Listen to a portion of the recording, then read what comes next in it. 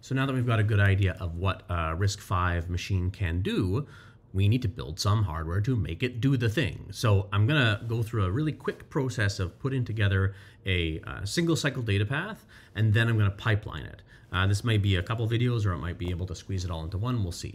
Um, so there are other videos on my channel, other places about how to uh, build a machine, single cycle, multi-cycle. This is going to be the same stuff, uh, just structured to RISC-V with some of the quirks and idiosyncrasies that we have in this platform. So we start with fetch. That means we need a place for instructions to be. We need a place to tell the machine which instruction we want, and we need a place to uh, put the instruction that we get. So for RISC-V, we've got, um, well, for any machine really, a program counter, instruction cache, and uh, instruction register to put the instruction. So that's our sort of first stage. But then we also need to uh, be able to, oops, um, we need to be able to, first of all, update the program counter because we can't just be pointing at the same instruction. And also, we want to sort of break out the instruction register for RISC-V to give us a few more of the details. So we have a, again, fairly standard. We're going to add four to the program counter um, cycle by cycle because there are four bytes in a word and instructions in RISC-32 are 32 bits or four bytes long. And so we add four to get us to the next instruction.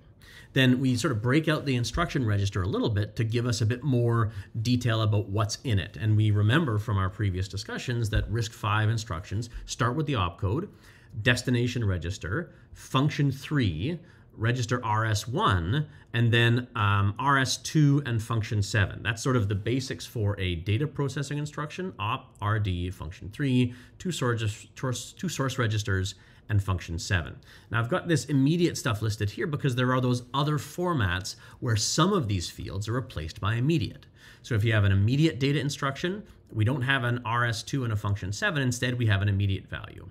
If we have, for example, a uh, U instruction, uh, we don't have function 3 either. All we've got is RD and the immediate.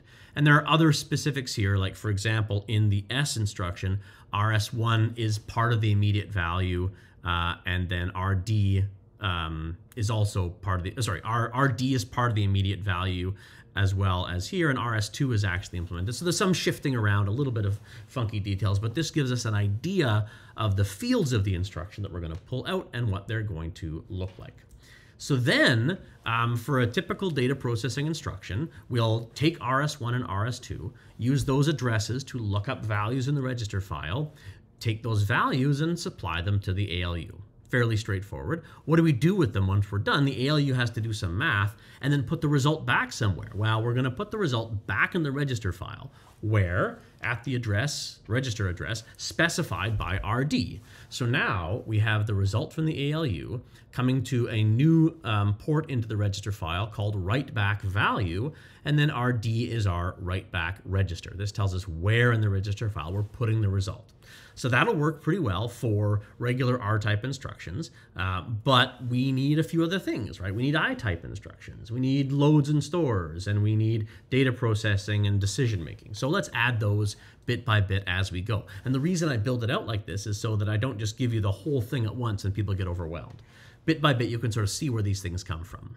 So next, we're going to add uh, immediate functionality.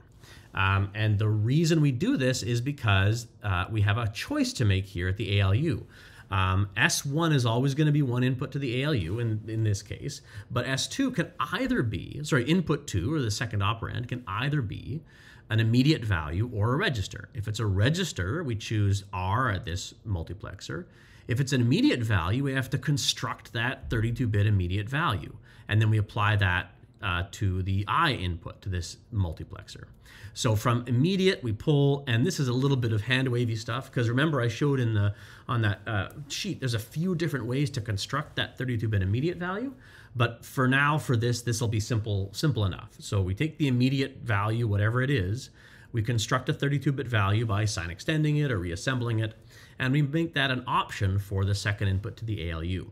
Also, I'm using, at this point, I'm taking function 3, which we saw as the, you know, sort of information about which ALU operation you're actually doing, and I'm going to route that past the register file into the ALU and say, now we've got a machine that can do any of those ALU functions, either register versions or immediate versions. All right, let's add a bit more. um, now we want to be able to load and store information. So to do this, we have to have an address. We have a data cache, just like the instruction cache. And again, just like the instruction cache, we need some indication of where we're looking and then somewhere to get the result. So data cache is a little different in this case because we have an address, but we also can either have an input into it for storing or an output out of it for loading.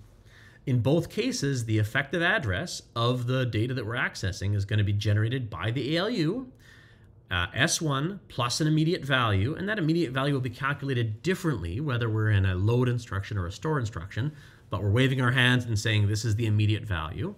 The ALU then will add those two together, generate an address, and then we have two options. Either we can then take S2, since we're not using S2, right? We're using the immediate value for an instruction like load. S2 can bypass the ALU and be used to store information, or the output can come through and be used to put into the write back value. Now we have a new choice we have to make, right? Before we added the load and store, uh, we have just the ALU putting back to the register file. Now we have another choice to make. We have the opportunity to either take the ALU value here or the output of the data cache can go here. And so either of those is used to write back, but still RD is going to be the destination register. This is the other reason why store has its own format, because if we are storing information from the register file into the data cache, we're not writing back. So RD is not used. And so we can use that as part of the immediate field and keep S2 as, once again, the, the location where the data comes from.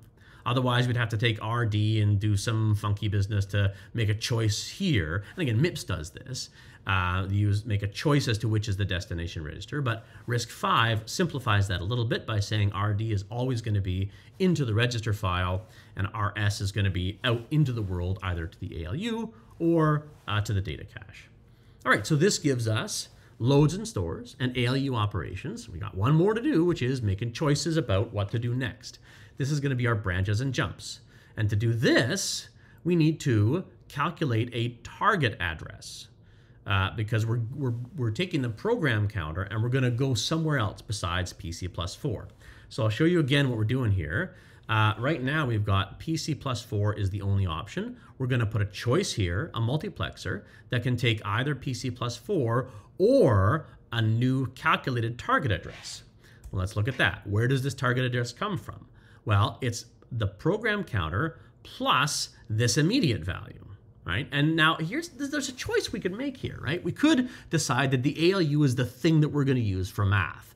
And so we don't want to add another ALU just to calculate the target address. Instead, we could route the program counter right, through here into the ALU and, and use that to do math there. So that is an option, but we're going to do it this way instead uh, for a couple of reasons. First of all, because we want to preserve our access to the register file for storing the return address. And if we mess with the ALU access, we might get messed up about what we're bringing in and putting back to the register file. The ALU is going to take um, the information from the um, register that we're specifying as the destination register. We're going to add zero to it, and then we're going to put that into um, the the data that is used or the, the specification, the location for that destination register. But what's its value? Its value is going to be the program counter. So we need to find some way to do that as well. So this, all this does is calculate the target address. This does not yet preserve a return address, but we know we're going to have to do that. So we're going to use this little extra um, little adder to calculate the target address instead of putting it in the ALU. And again, these are design choices you can make, and it's worth having the conversation about how those design choices get made. So that's branching and jumping. And then we will add, like I said, another little extra thing so that we can calculate our return address. We're going to take the program counter uh, from here, plus 4, because we're always returning, a, we're, we're returning to PC plus 4. And then we're going to route that through to this choice of what goes into the write back value. So now the write back value could be one of three things. It could be the ALU output, it could be the memory output, or it could be our PC plus 4. And I notate that as PC plus. And then if we're uh, storing a write back value that is going to be our return address, that's just PC plus 4 through here. And at the same time, we're updating a new program counter using this target address.